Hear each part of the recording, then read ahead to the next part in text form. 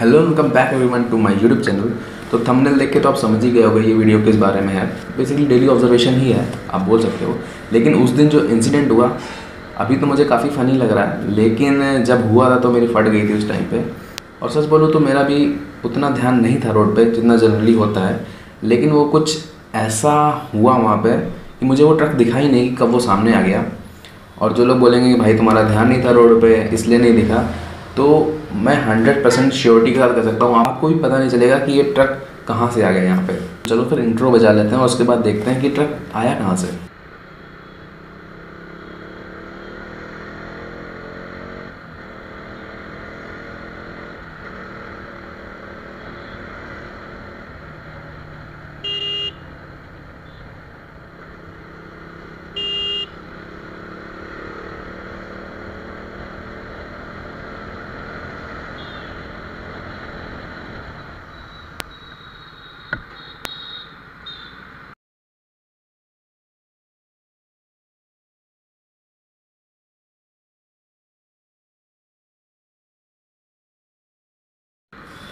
तो जैसा कि देखा आपने कि आपको भी एक बार के लिए लगा होगा कि भाई ये ट्रक कहाँ से आया।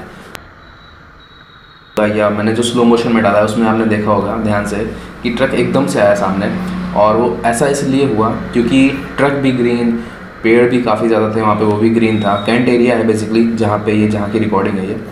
तो मेरा भी उतना ध्यान नहीं था रोड पे और वो ट्रक मैंने बहुत पास आने के बाद देखा, जैसे कि आपने वीडियो में देखा कि बहुत पास आ गया था मैं ट्रक के, तब मैंने देखा कि अरे ट्रक।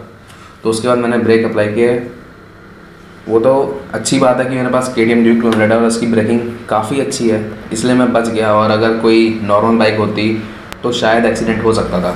ये मेरे पास फुटेज लगभग 20 दिन हो गए होंगे जब रिकॉर्ड किया था मैंने।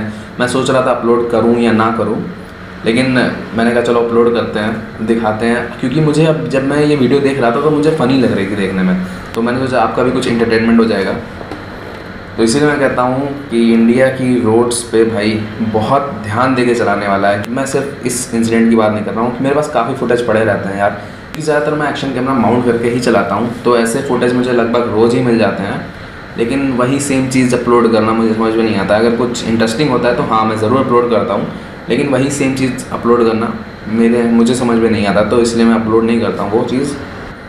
तो इंडिया में चलाने के लिए आपको फिफ्थ सेंस तो चाहिए चाहिए इवन आपको सिक्स सेंस भी चाहिए कि भाई, पता नहीं कब कौन आपके सामने टपक पड़ा एकदम से, और आपको पता भी नहीं चलेगा कि अरे भाई, तू कहाँ से आ गया है यहाँ पे? तेरा तो नामो निशान नहीं था यहाँ पे, फ़िलहाल। तो अगर वीडियो थोड़ा सा भी इंटरटेनिंग लगा और आपको भी लगाओ कि भाई, ये ट्रक आया कहाँ से एकदम से तो लाइक ज़रूर कर देना और सब्सक्राइब ज़रूर कर देना because it means a lot और अगर आपके साथ भी कुछ ऐसा हुआ हो तो कमेंट सेक्शन में मुझे बताना मत भूलना। Till then right safe I am signing off bye